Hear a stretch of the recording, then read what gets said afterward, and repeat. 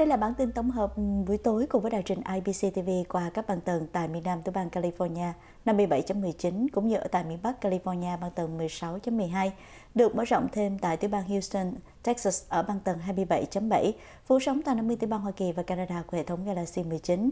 Cập nhật 24 trên 24 qua trang mạng điện toán toàn cầu ibctv.us. Quý vị cũng có thể đón xem bằng cách subscribe vào YouTube và Facebook IBC TV Official. Cùng với ban tin tức xuống công viên Tuyết Nha và Minh Đăng mở đầu xin kính gửi lời chào trân trọng nhất. Như thường lệ, sau đây xin mời quý vị cùng đến với phần điểm tin. Twitter đe dọa sẽ kiện Meta về tweets.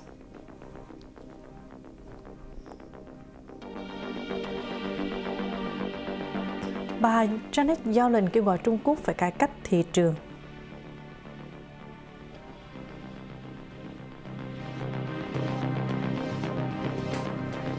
Bà Yellen nói Hoa Kỳ không muốn cách tiếp cận người chiến thắng được tất cả.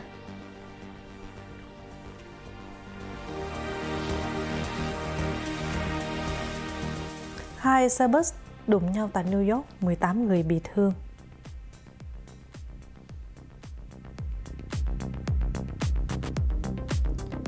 Britney Spears tố vệ sĩ của ngôi sao NBA tác vào mặt cô.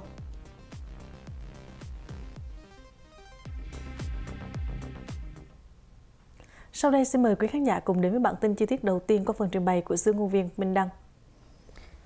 Kính thưa quý vị, Twitter dọa sẽ kiện Meta về Threads. Trích dẫn một bức thư được luật sư Alex Spiro của Twitter gửi cho giám đốc điều hành của Facebook Mark Zuckerberg, trang web tin tức Semaphore đưa tin vào hôm ngày thứ Năm cho biết Twitter đã đe dọa sẽ kiện Meta Platforms về nền tảng Threads mới của Meta.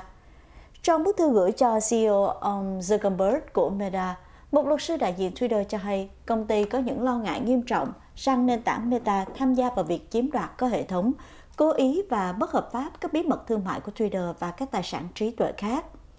Về phía của Twitter cho biết các nhân viên đã bị Meta lôi kéo để sử dụng bí mật thương mại và tài sản trí tuệ nhằm phát triển ứng dụng Threads mặc dù Meta bác bỏ. Ứng dụng này của Meta vào hôm ngày thứ Tư đã ra mắt sớm hơn một ngày so với dự kiến, cung cấp cho người dùng Twitter một giải pháp thay thế. Threads cho phép những người sử dụng đăng các dòng nội dung bằng văn bản đường dẫn đến các trang web, trả lời người đăng tải hoặc chia sẻ lại bài viết của người khác. Meta đã xem ứng dụng này là nơi người dùng có thể theo dõi và kết nối trực tiếp với những nhà sáng tạo yêu thích của họ. Bà Janet Yellen đã kêu gọi Trung Quốc nên cải cách thị trường. Bộ trưởng Bộ Tài chính Hoa Kỳ Janet Yellen bắt đầu chuyến công du 4 ngày tới Bắc Kinh vào thứ Sáu với việc kêu gọi cải cách thị trường tại nền kinh tế lớn thứ hai thế giới, đồng thời cảnh báo Hoa Kỳ và đồng minh sẽ chống lại cái mà bà gọi là sự thực hành kinh tế không công bằng của Trung Quốc hiện nay. Bà Yellen cho biết thêm, bà sẽ nói rõ với trung viên chức của Trung Quốc rằng Washington không tìm kiếm sự chia cắt toàn bộ nền kinh tế của hai quốc gia, nhưng vẫn sẽ nêu bật những lo ngại về việc Trung Quốc sử dụng những khoản trợ cấp mở rộng cho các doanh nghiệp chính phủ và doanh nghiệp trong nước, những rào cản tiếp cận thị trường đối với công, công ty nước ngoài và những hành động trừng phạt gần đây, đặc biệt đối với các công ty Hoa Kỳ làm việc ăn tại Trung Quốc. Những viên chức Hoa Kỳ cho biết họ mong đợi bà Yellen nêu ra những lo lắng về tác động của luật phản gián mới nhất của Trung Quốc đối với các công ty Hoa Kỳ và cảnh báo Bắc Kinh về hậu quả của việc cung cấp vũ khí sát thương cho Nga. Bà Yellen đưa ra nhận xét này tại cuộc họp với công ty Hoa Kỳ kinh doanh tại Trung Quốc sau cuộc gặp vào buổi sáng với cựu ra hoàng kinh tế Trung Quốc Lưu Hạc, một người thân tín của Chủ tịch Trung Quốc Tập Cận Bình. Bà cũng sẽ đến gặp Thủ tướng Lý Khắc Cường sau đó. Bà Yellen nói Hoa Kỳ không muốn cách tiếp cận người chiến thắng được tất cả. Bộ trưởng Tài chính Hoa Kỳ Janet Yellen đã nói với Thủ tướng Trung Quốc trong cuộc gặp ở Bắc Kinh trong ngày thứ Sáu rằng Hoa Kỳ đang tìm kiếm một cuộc cạnh tranh lành mạnh với Trung Quốc dựa trên các quy tắc công bằng có lợi cho cả hai nước, chứ không phải theo cách tiếp cận người thắng được cả. Ông Lý bắt đầu cuộc họp bằng cách nói rằng cầu vồng xuất hiện khi máy bay của bà Yellen hạ cánh từ Washington vào hôm ngày thứ Năm, mang lại hy vọng cho tương lai của mối bàn giao giữa hai quốc gia. Bà Yellen trong bài phát biểu được chuẩn bị sẵn đã nói với ông Lý rằng bà hy vọng chuyến viếng thăm này sẽ thúc đẩy các kênh liên lạc thường xuyên giữa hai nền kinh tế lớn thế giới. Bà cũng cho biết thêm Washington sẽ trong một số trường hợp nhất định cần theo đuổi các hành động có mục tiêu để bảo vệ an ninh quốc gia của mình. Nhưng những bất đồng về những hành động như vậy không nên gây nguy hiểm cho mối quan hệ rộng lớn hơn.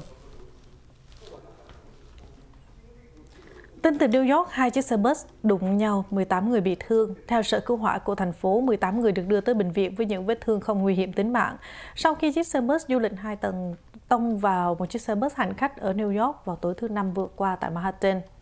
Cửa sổ phía trước của xe bus du lịch Topville hai tầng bị vỡ khi tông phải đuôi xe bus do cơ quan giao thông đô thị điều hành diễn ra vào tầm 7 giờ tối tại đại lộ First Avenue và đường 23 ở phía đông Manhattan.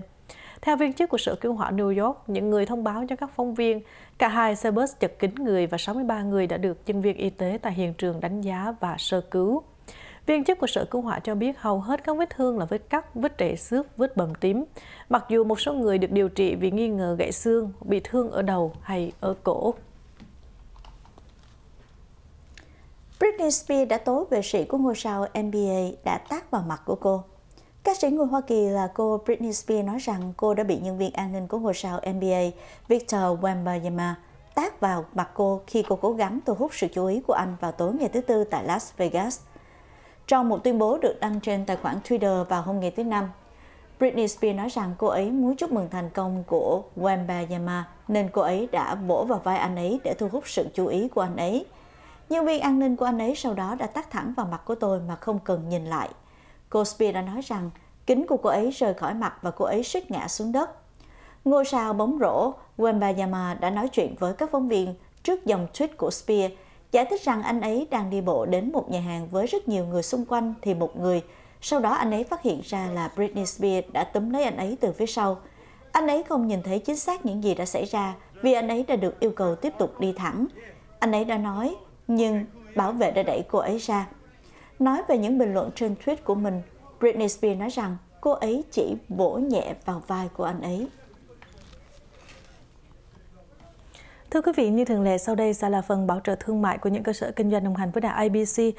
Chúng tôi sẽ trở lại để gửi đến quý vị những tin tức nổi bật liên quan tới cảnh sát tại Anh đã nói một đứa trẻ chết sau vụ va chạm xe hơi ở trường học phía Nam London, hay là Evan Marcus, thủ lên bất đồng dân kiến hàng đầu của Fars đã tử vong như thế nào. Và chúng ta tới với việc Bộ Ngoại giao Việt Nam lên tiếng vụ đường lưỡi bò qua trường hợp Blackpink và Barbie. Kính mời quý vị đón xem.